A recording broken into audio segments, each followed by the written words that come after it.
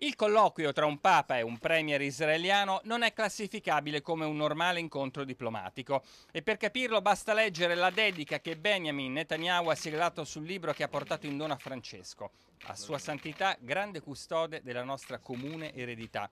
Anche il volume regalato è carico di significato. Si tratta di un testo sull'Inquisizione spagnola nel XV secolo, scritto dal padre del premier, lo storico Ben Zion Netanyahu, dove si sostiene che durante il periodo dell'Inquisizione i cattolici non avrebbero offeso gli ebrei.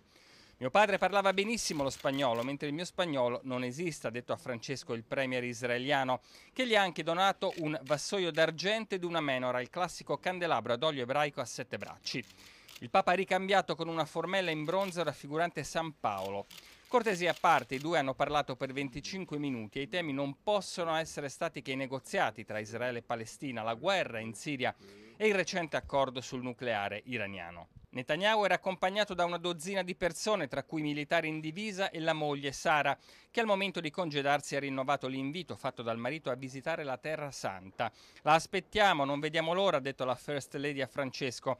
Il portavoce vaticano, padre Lombardi, ha precisato che oggi non verranno annunciate le date del viaggio del Papa in Palestina, ma poiché dovrebbe avvenire prima della scadenza del mandato del presidente Shimon Peres, si ipotizza che possa essere nella terza settimana di maggio. Netanyahu, dopo un colloquio col nuovo segretario di Stato Vaticano Parolin, si è diretto a Villa Madama per un vertice con Enrico Letta e cinque ministri da ogni parte che sigleranno accordi economici, in particolare su energia, ricerca e alta tecnologia.